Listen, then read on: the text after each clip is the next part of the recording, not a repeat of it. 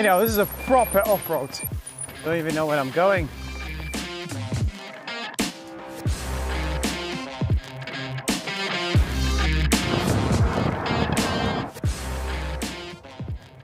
In this video, I'm going to talk about electric bike. This is the Engwe EP2 Pro fat tire bike that I've been testing for the last three weeks and I'm going to share you my honest opinion starting from unboxing. So basically it took me about an hour to unbox and put it up together. It wasn't that straightforward, but it's manageable. What I was impressed by was the fact how premium the bike was. I like all the accessories. You got the rack at the back, you've got the light in the front and the back, you got bell, and you got kickstand. You know, some of the companies charge extra for this. So big thumb up Engwe for those accessories. In terms of riding, I did not have any issues. Honestly, it's such a pleasure to ride. I was not expecting that I will be commuting to work for four days in a row on an electric bike.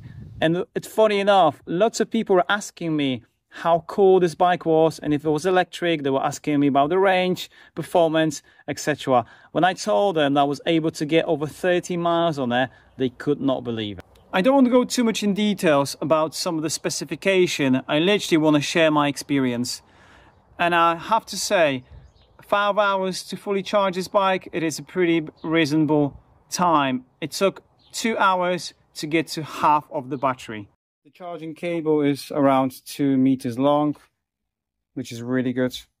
I like the fact that this bike is suitable for all ages. Taller people, I'm 177 centimeters, which is 5'10".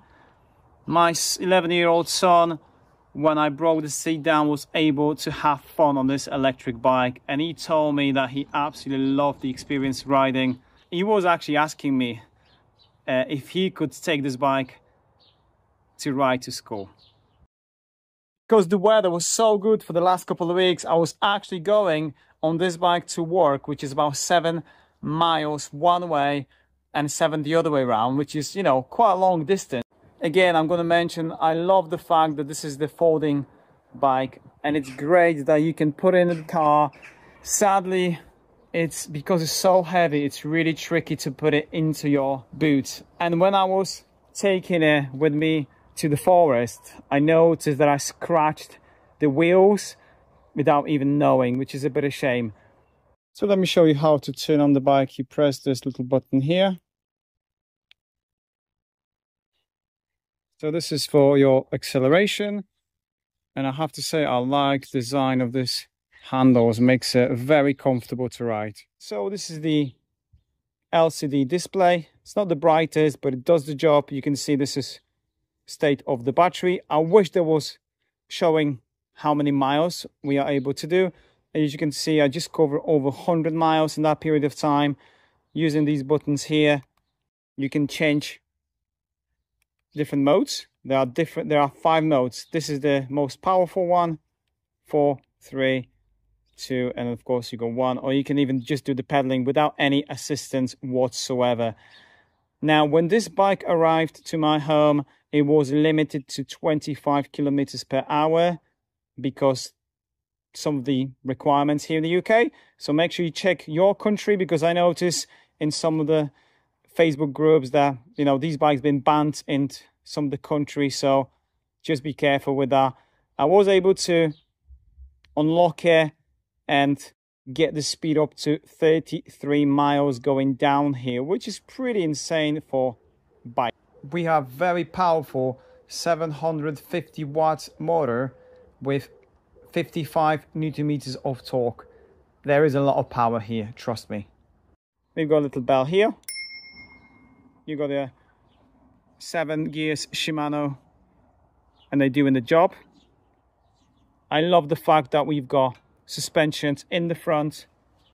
Another very important thing is the price. You can purchase this electric bike for under a thousand pounds, which in my opinion is a huge value for money. I was looking at some mountain electric bikes and they cost a lot of money. Some of them like 5,000 or even more. Like again, this is not a proper mountain bike. It's more for commute. But if you want to go off-road, then you should be absolutely fine.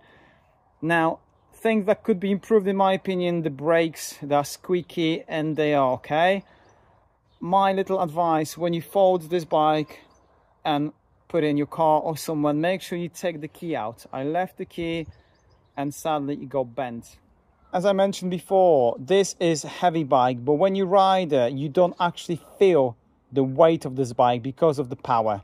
I was going off-road. Honestly it does the job. You know grass different terrain the fat tires are doing a pretty good job going off-road right? This is not mountain bike. I went proper off-road and after a couple of minutes i noticed some of the components got loose which is not a good thing. I'm glad i had some tools with me so make sure you stick to the road and maybe occasionally go off-road for me the big positive is the fact this is the folding bike it is very heavy, it weighs just over 30 kilograms. Great that we've got the handle that we can move around. However, I just wouldn't recommend taking this up the stairs. Let's talk about the range.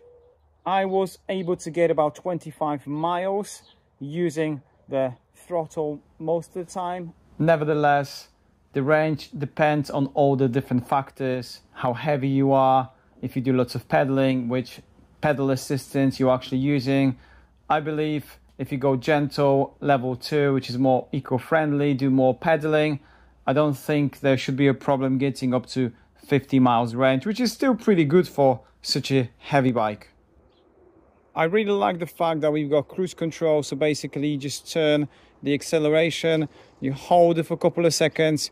When you release, the bike will automatically carry on with the speed you're actually going, which is very useful when you just want to cruise around. Love it.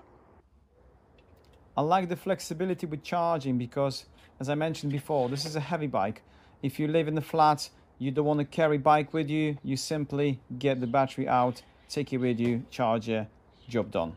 Now, let me tell you one thing that really bothers me is the fact the key positioning is very low. And sometimes it takes a little while to get the key in. Another thing that I don't like is the fact sometimes the key doesn't go in. Need to make sure that this bolt is sticking out.